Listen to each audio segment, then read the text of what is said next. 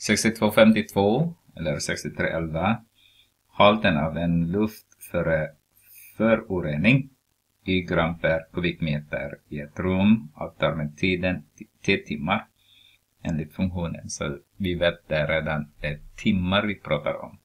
Så 20 gram från början och den avtar med 14 procent varje timme. Så där. Okej, okay så har vi A där, har vi svarat egentligen? Nej, inte riktigt.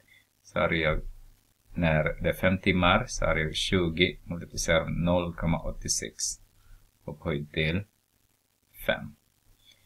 Eh, ja, det är bara att räkna det. Så. Meny där. Jag ska gå tillbaka. Eh, vad blir det? 20 multiplicerar med 0,86 upphöjt till 5 timmar. Så det är bara 9,441 gram då. Efter 5 timmar. Okej, okay. B. Cirka 9,41 gram. B.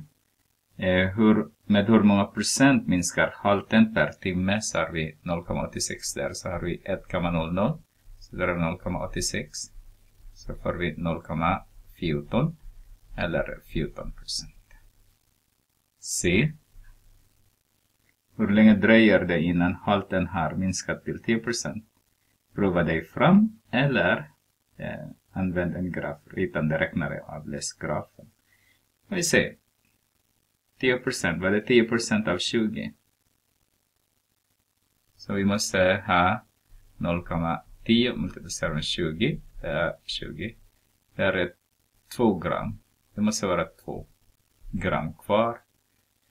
Så har vi i är lika med 20 multiplicerat 0,86 upphöjt till t.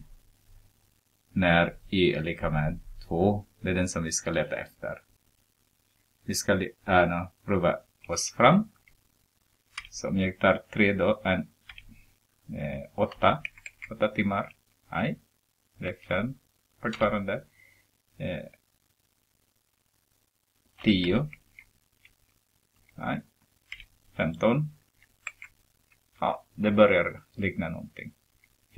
16. Eh, det var för ja, 15 egentligen. Där, som ni ser nu. Hur gör man det med eh, grafen då, som de säger? Så, så har vi 20 multiplicerat med 1 är 0. 0,86 upphöjt till eh, x. Där. x. Draw. ser inte den. Eh, vi standard F3. Där. Ni ser det redan.